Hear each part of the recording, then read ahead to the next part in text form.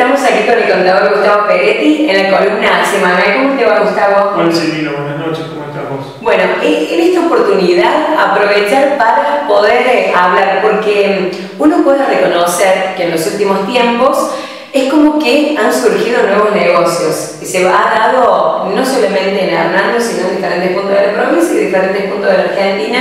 a raíz de que eh, con todo el contexto inflacionario, eh, con los ajustes que se han hecho por parte del gobierno y que muchas veces eso se ha visto también reflejado en empresas privadas que han generado algunos despidos o por otro lado, si bien no han despedido gente, han reducido la cantidad de horas de trabajo y de, digamos, del compromiso con eh, sus empleados. Eso ha significado que se buscan nuevas alternativas por parte de las personas para generar ingresos para poder llevar adelante el nivel de vida que, que venía llevando. Y ha cambiado a que haya nuevos negocios.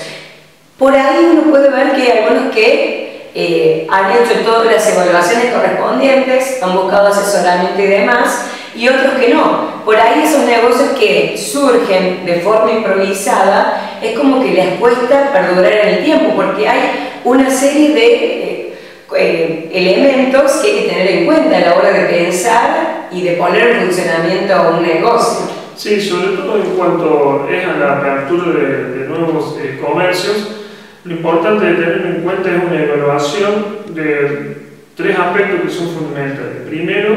es eh, para la apertura del negocio todo lo que hace falta desde el punto de vista, digamos, impositivo, desde el punto de vista normativo, eh, la inscripción en, eh, tanto en, la FIP, en, rentas, en la municipalidad, cuáles son las normas que deben cumplirse para la apertura de determinados negocios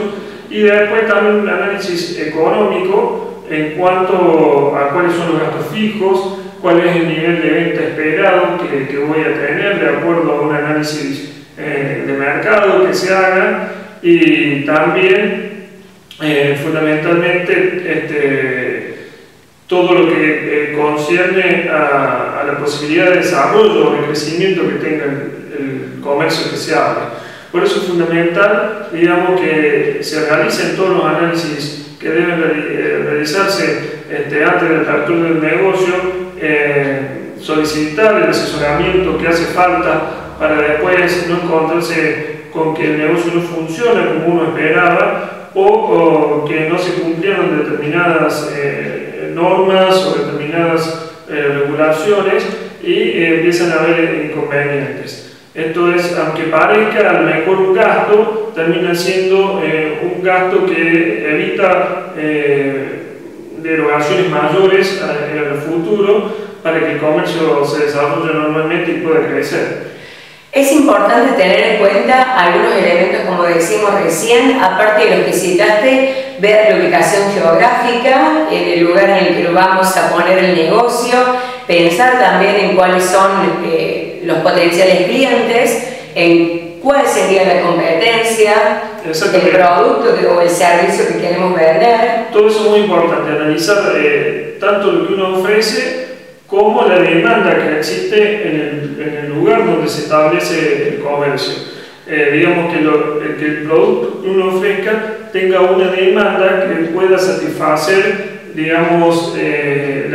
los gastos o los costos que implican poner un negocio determinado. Eh, es muy importante establecer la zona o el lugar en donde, donde, se, donde se pone el comercio para que digamos, este, esté, a, esté, a, la mano o esté al alcance de, la demanda, eh, que esté en lugares que, comerciales que,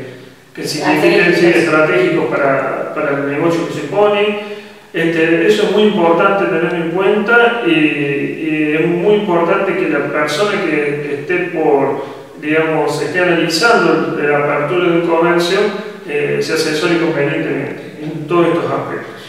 El otro día, hace, en realidad hace varias notas atrás, habíamos hablado de la importancia de tener en, los negocios eh, los fondos para las tarjetas de crédito, porque muchas veces no se toma en cuenta la importancia que tienen porque cómo puede afectar en cuanto a lo que es la venta de un producto o un servicio. Muchas veces vemos que la gente se ha acostumbrado a que paga mensualmente, entonces como no tiene crédito en algunos comercios, ¿qué hace? Se acostumbra a manejarse con la tarjeta de crédito y es un denominador común que se da. Por eso muchas veces hay algunos comerciantes que pierden eh, vender por no contar con eso. Dado como se está desarrollando la economía hoy en día, es muy importante que el comerciante ofrezca a la, demanda este, la mayor cantidad de canales de pago posible. Eh, hoy en día se necesita financiamiento, entonces eh, una de las formas de satisfacer al cliente es ofrecer la mayor cantidad de financiamiento posible. Eh, ofrecer precios de contado, precios financiados, un financiamiento que sea acorde, que esté al alcance de la, de la gente. Es muy importante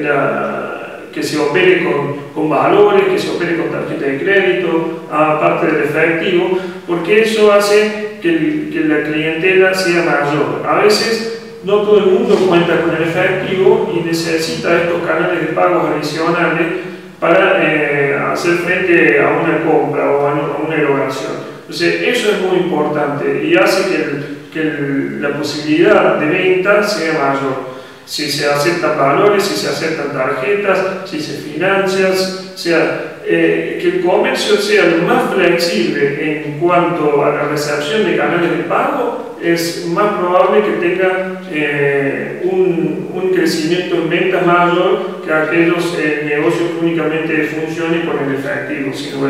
Estaba pensando en función de la situación. Pensaba que por un lado tenemos que mucha gente busca una alternativa de trabajo y como respuesta aparece la opción de generar su propio negocio. Y pensaba que por otro lado hay que ver eh, la parte económica, es decir, de dónde sacamos los recursos para la inversión inicial, que generalmente es cuando ahí se necesita la mayor cantidad de dinero para arrancar, para alquilar, para, eh, para poner eh, acondicionado todo lo que sea local y, y demás, para conseguir los productos, es decir, la inversión inicial siempre es la más costosa. Pensaba que si es una persona que se ha quedado sin trabajo, a menos que haya sido indemnizada, es difícil tener los recursos si no fuese por el canal de crédito. ¿Cómo estamos en, situación de la posibilidad de poder acceder a los créditos? ¿Cuáles son los requisitos que hoy por hoy se están solicitando? Y por otro lado, las tasas de interés que yo estaba leyendo en estos días como que están muy, pero muy complicadas. La verdad que ese es un tema, eh, sobre todo hoy en día en Argentina, eh, muy candente, porque dada la situación macro de, inflación alta, el crédito es de difícil acceso. Este, no todas las entidades bancarias solicitan lo mismo, pero generalmente lo primero que le van a pedir son pagos los tributos, entonces es muy difícil que alguien que se inicie desde el momento cero eh, cuente con el crédito necesario, salvo que tenga eh, bienes u otros ingresos que respalden la operación crediticia. Pero es muy difícil que hoy en día alguien que se inicia en una actividad comercial pueda contar eh, con recursos provenientes del crédito. Por otro lado, al estar tan alta la tasa de interés, sobre todo en el último tiempo, eh, por, por, disposiciones del central que ha, dispuesto a levantar la tasa de interés activas, ¿no cierto?, o pasivas, perdón, de, las LEVA, hasta tasas que rozan el 40%, ha hecho que el costo del dinero suba. Entonces, eh, crédito sea encarecido y hasta tanto el país no logre eh, normalizar la cotización del dólar eh, por vías normales y no por subir la tasa de interés para bajar la, tasa, la demanda de dólares, este, el crédito va a estar muy limitado o si se consiguen a tasas de interés muy alto en donde es muy difícil que la rentabilidad del comercio logre eh, cubrir el costo del dinero si es a través del crédito. Aquí en el estudio yo he observado en estos años de que tanto Daniel como vos, Gustavo, eh, se dan situaciones en donde las personas cuando quieren arrancar con alguna actividad comercial nueva hacen el estudio de mercado. Si bien no lo hace todo el mundo, pero eh, cuando hay mucho compromiso y mucho interés por generar un nuevo negocio, es importante y se considera también eh, la importancia del asesor. Sí, este, si bien tiene un costo todo estudio de mercado, a veces eh, se tiene que ver eh, como una erogación que permite el análisis, digamos, un análisis más frío de, de lo que va a ser la actividad y más completo. Entonces, digamos, determina la factibilidad o no de llevar adelante la inversión eh, ya que uno toma muchas obligaciones, ejemplo, alquileres, eh, compra de bienes de uso, este, inscripciones impositivas, una serie de costos fijos que uno encara a la hora de poner un negocio que si se tomara, digamos, eh, la, posibilidad de, de, realizar un análisis de mercado, a veces uno podría, en el caso de que se viera de que no es factible llevar adelante el negocio, obviar todas esas erogaciones a futuro. Entonces, por ahí a veces hay que verlo desde el punto de vista, digamos, más integral a esa erogación es una erogación importante cuando se tiene sobre todo duda acerca, acerca de la factibilidad del, negocio que se encarga.